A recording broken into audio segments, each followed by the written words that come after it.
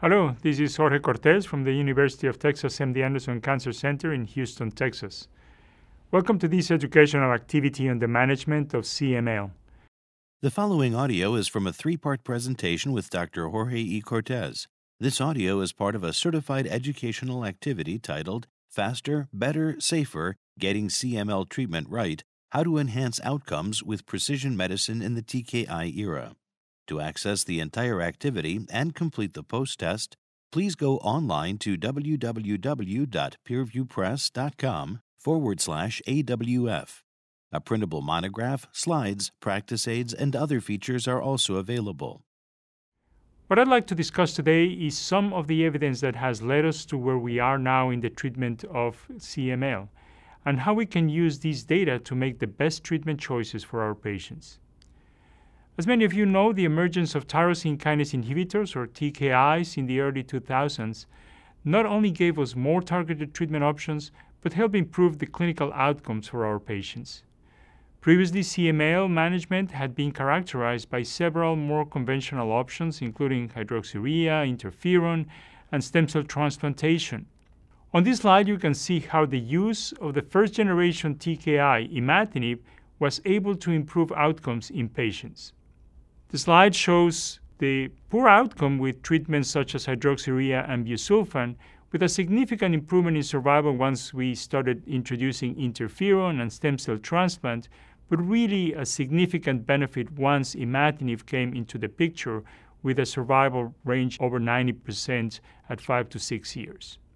So in many ways, TKI therapy has changed the natural history of the disease, which previously was an indolent but inevitably fatal disease. The excellent outcomes we saw with imatinib have also been seen with second generation TKIs, which were first validated in the second line setting. Subsequently, these agents were tested in newly diagnosed patients where excellent outcomes were once again observed. This slide shows a summary of the results of the main studies of the drugs that are currently approved for frontline therapy with tyrosine kinase inhibitors in CML. You see high rates of complete cytogenetic response by 12 months with imatinib, but higher with dasatinib or nilotinib, and the same can be said with even bigger differences for major molecular response at 12 months. There was a trial with bosutinib, which was negative in terms of complete cytogenetic response by 12 months, but ongoing studies are reassessing this. These agents, which are more potent than imatinib, include dasatinib and nilotinib. As mentioned, bosutinib, although the BELA trial was negative, has an ongoing study called the BEFORE trial, which is testing a different dose of bosutinib, a lower dose, versus imatinib in newly diagnosed patients with chronic phase CML. As we develop more experience with TKI therapy in CML, the more apparent it became the different levels of response were associated with different outcomes. It is useful then to have agreed upon definitions of response in order to help guide our ability to assess the success or failure of therapy. There are several categories of response that we need to get familiar with. A complete hematologic response essentially means normalization of the peripheral blood with normal white cell count, normal platelets, no immature cells, and no signs or symptoms of the disease. A cytogenetic response is based on the number of metaphases that have Philadelphia chromosome, which could be none, which will define a complete cytogenetic response, up to 35% for a partial cytogenetic response, more than 35% with a minor cytogenetic response.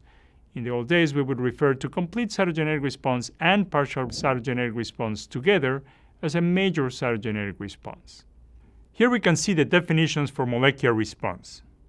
We refer to early molecular response to BCR-ABL transcripts of 10% or less in the international scale, usually at 3 months or at 6 months. A major molecular response refers to BCR-ABL transcripts of 1% or less, again by the international scale, and this is equivalent to a 3 log reduction from a standardized baseline by the PCR. Deeper responses we call as MR4 when it's approximately a 4 log reduction or more, and that'll be in the international scale at 0.01% or less. And the deepest molecular response, which is the MR 4.5 or 4.5 log reduction from the standardized baseline, is equivalent to 0.0032% in the international scale. When the transcript levels are undetectable, we sometimes refer to that as complete molecular response. This is a little difficult to define because the sensitivity of the assays may vary from one laboratory to the other, so that one is not very well standardized in general. Now that we have reviewed the definitions of response, let's turn to a discussion of timing. In other words, does achieving an early response matter? A great deal of evidence shows that achieving an earlier or faster response is an important predictor of outcome. Jain and colleagues, for example, assess the effect of early responses with TKIs on outcome in patients with newly diagnosed chronic phase CML. Among 483 patients who were treated as initial therapy with either 400 milligrams of imatinib, the standard dose, or a higher dose of imatinib, 800 milligrams, or with nilotinib, or with dasatinib, and with a median follow-up of 72 months, a landmark analysis at three months by molecular response showed that the three-year event-free survival for the patients that at three months had a transcript level of 1% or less was 95%. If it is 1% to 10%, it was 98%. But if it was more than 10%, it was only 61%. And this is a very significant, statistically different uh, response. So in these curves, you can see uh, in the upper panel the difference in event-free survival at three months at the top and by uh, six months in the two uh, curves. And on the left, you see them by cytogenetic analysis, and on the right, by molecular analysis. And that is important because essentially a 10% PCR value corresponds to a major cytogenetic response. So if you're less than a 10%, means that you have achieved a partial cytogenetic response at least. Next, I will explore some of the important studies that have tested second generation TKIs in the frontline setting.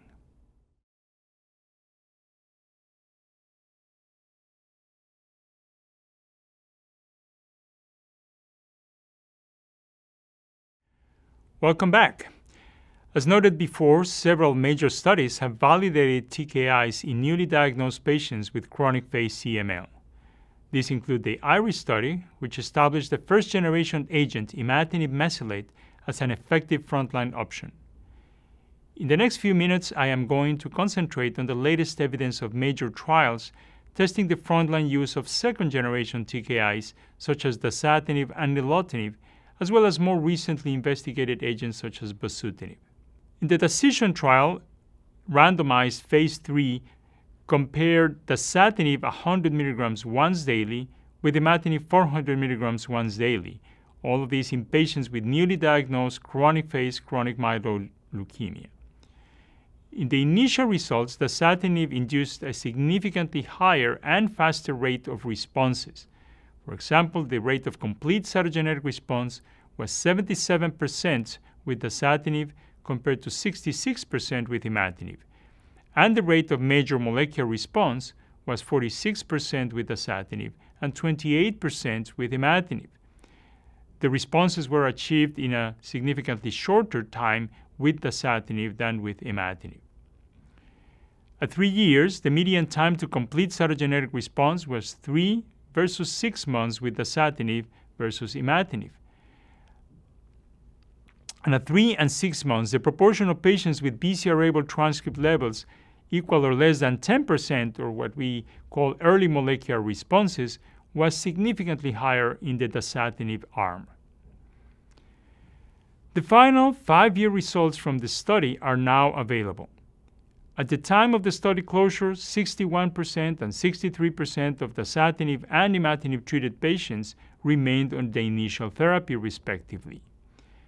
However, the cumulative rates of MMR and molecular responses with a 4 and 4.5 log reduction in transcript levels from baseline by five years remain significantly higher for dasatinib versus imatinib.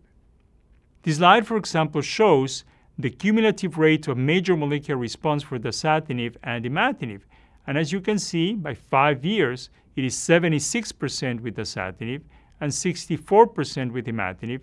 The curves remain separated from the beginning of the analysis, for example, at 12 months, and the same separation appears to remain by the five year cutoff. Similar outcomes were noted when assessing molecular responses at important time points, such as three months.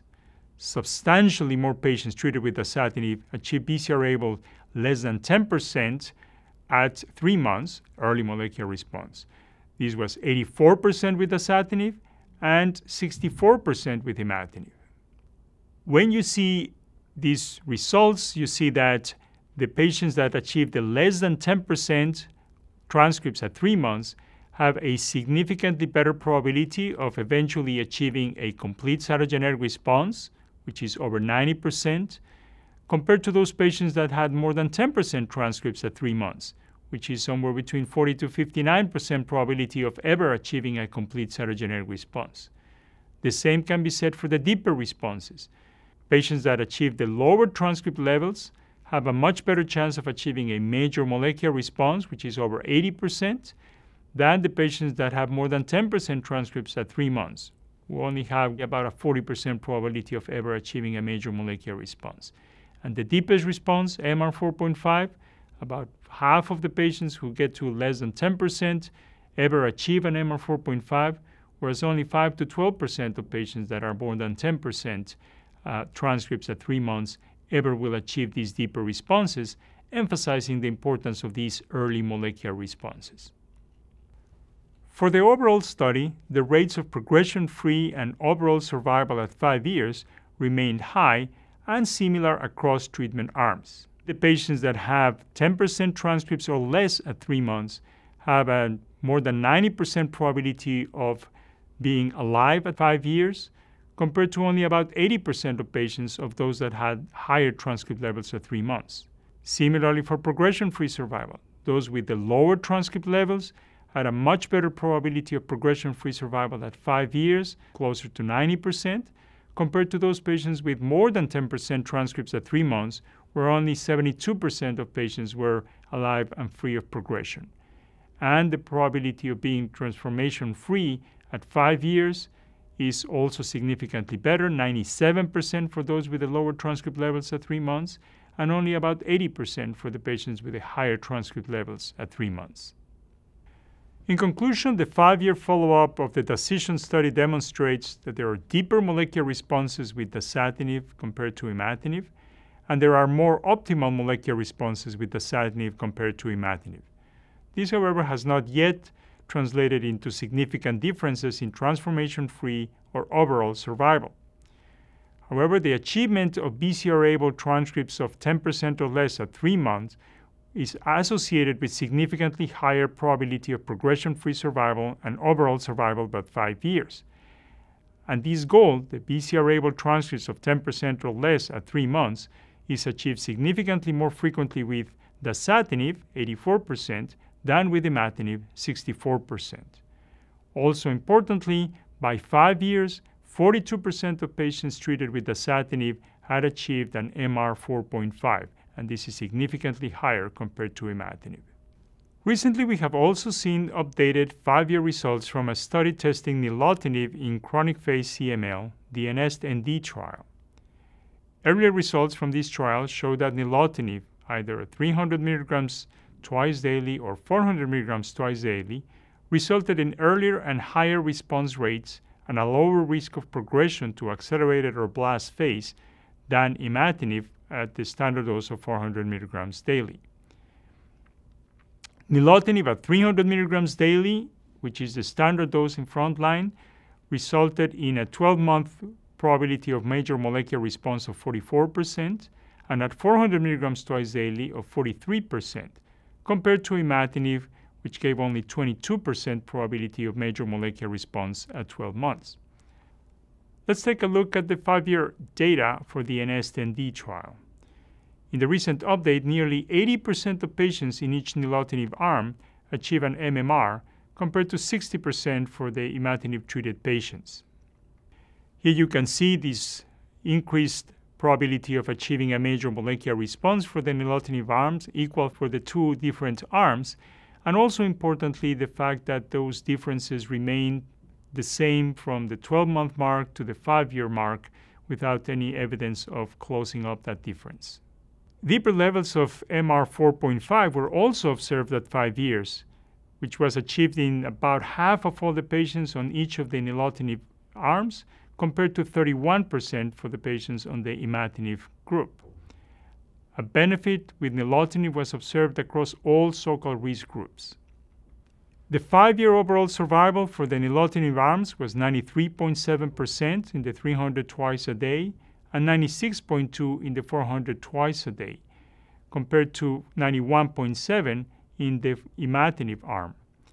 And the five-year probability of progression-free survival was 92.2 for the nilotinib 300 twice a day, 95.8 for the 400 milligrams twice a day of nilotinib, and 91% for the imatinib 400 milligrams daily. In conclusion, for the ENESTnd, at five years of follow-up, the rates of event-free survival, progression-free survival, and overall survival are not significantly different in the two treatment arms, particularly imatinib and the standard dose for frontline nilotinib, which is 300 twice daily. Nilotinib demonstrated, however, higher rates of early and deeper molecular responses, including MR4.5. By five years, more than half of the nilotinib treated patients had achieved MR4.5, a key eligibility criterion for many treatment free remission studies that are now starting to emerge.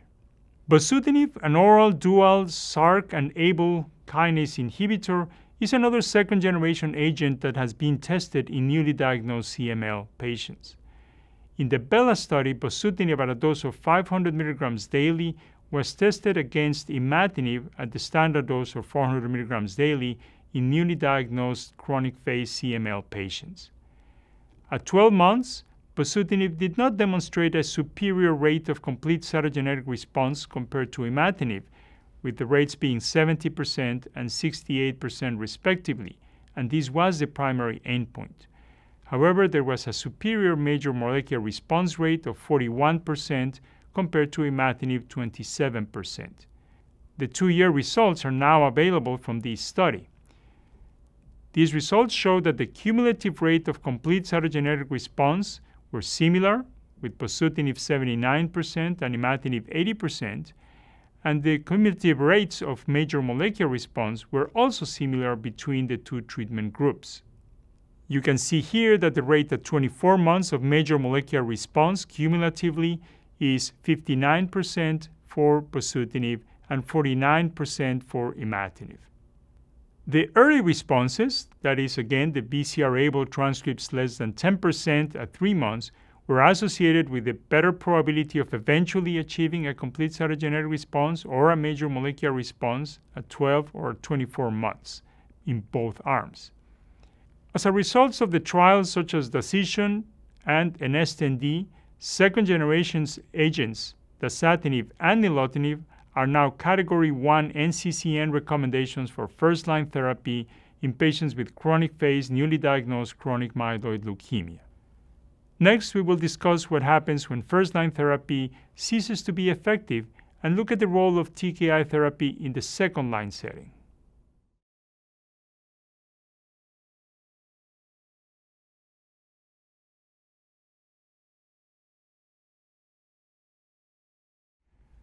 Welcome back.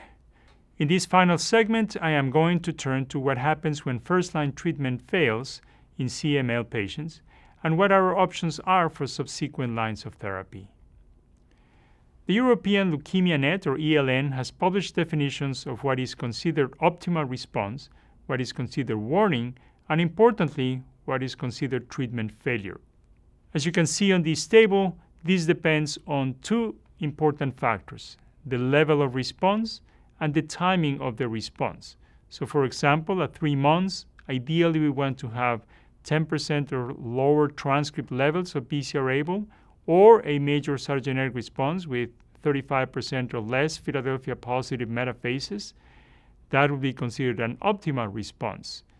If you have more than 95% of Philadelphia chromosome positive metaphases, that's a failure and anything in between would be considered a warning.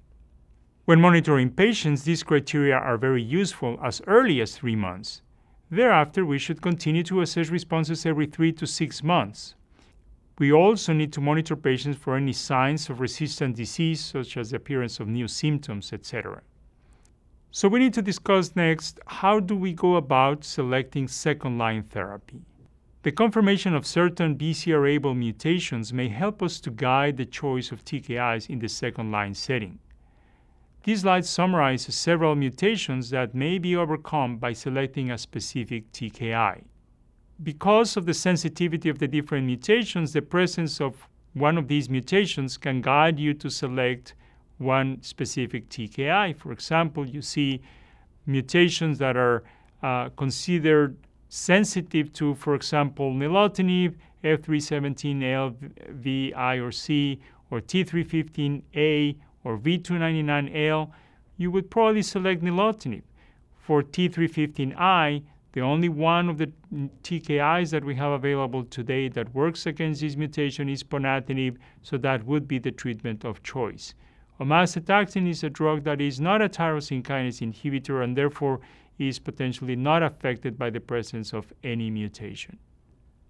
So, when do we screen for resistant mutations in a patient with CML? The current recommendations tell us that if at three months a patient has not achieved a complete hematologic response, or at six months a patient has not achieved at least a minor cytogenetic response, or at 12 months the patient has not achieved a major cytogenetic response, or at 18 months the patient has not achieved a complete cytogenetic response, we should check for mutations. Or if at any point the patient loses a response that they have previously achieved, we should also look for a mutation. Earlier, I discussed therapeutic milestones in the first line setting. In the second line setting, we see similar benchmarks.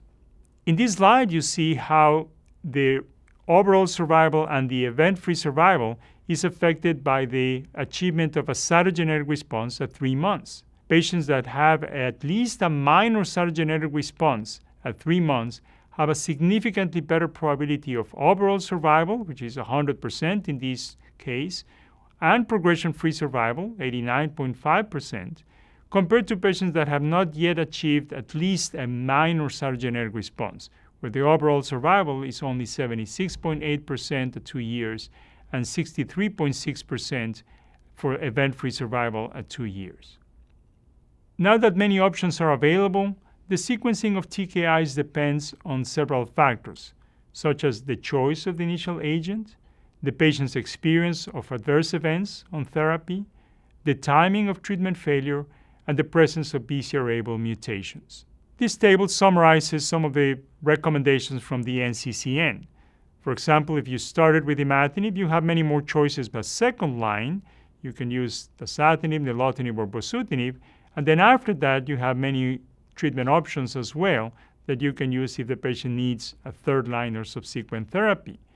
In contrast, if you started with a second generation TKI, you have perhaps fewer treatment options, both for the second line and for subsequent lines of therapy. Although there are certain adverse events specific to the TKIs we have been discussing, certain toxicities may be common to the class. These include myelosuppression, transaminase elevations, and electrolyte changes. What are the recommended dosing and selected safety management suggestions with second generation TKIs? For dasatinib, the standard dose in the chronic phase is 100 milligrams daily, orally, with or without meals. It is important to monitor patients for fluid retention, importantly looking for pleural effusions, pulmonary artery hypertension, and arteriothrombotic events. We should consider dose modifications and treatment interruptions and other strategies to manage uh, adverse events such as fluid retention and bleeding, and importantly, manage comorbidities. For nilotinib, the standard dose is 300 milligrams twice daily when treating patients with newly diagnosed disease and 400 milligrams twice daily when using it as a second line therapy. This should be taken approximately 12 hours apart and on an empty stomach. Patients should be monitored carefully for fluid retention and particularly for arteriothrombotic events and hyperglycemia. For bosutinib, the standard dose is 500 milligrams orally once daily with food, and patients should be monitored for diarrhea and liver toxicities.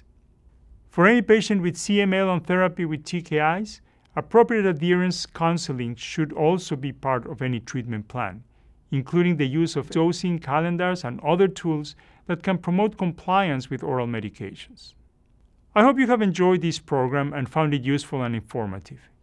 In conclusion, it is clear that excellent outcomes are possible with first and second generation TKIs as initial therapy in chronic phase CML, but that faster, deeper responses are possible with second generation agents such as dasatinib and nilotinib compared to imatinib. In addition, accurate monitoring for response and the potential development of disease resistance at important time points is critical for ensuring the efficacy of TKI therapy and for appropriate TKI sequencing in the second line setting and beyond. Thanks again for joining me in this discussion.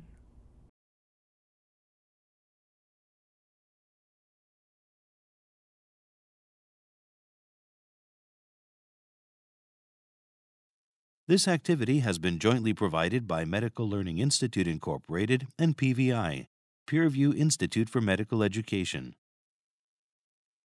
Thank you for listening to this activity. To view the rest of the CME activity, download materials, and complete the post test for instant credit, please go online to www.peerviewpress.com forward slash AWF. This activity is supported through educational grants from Bristol Myers Squibb and Novartis Pharmaceuticals Corporation.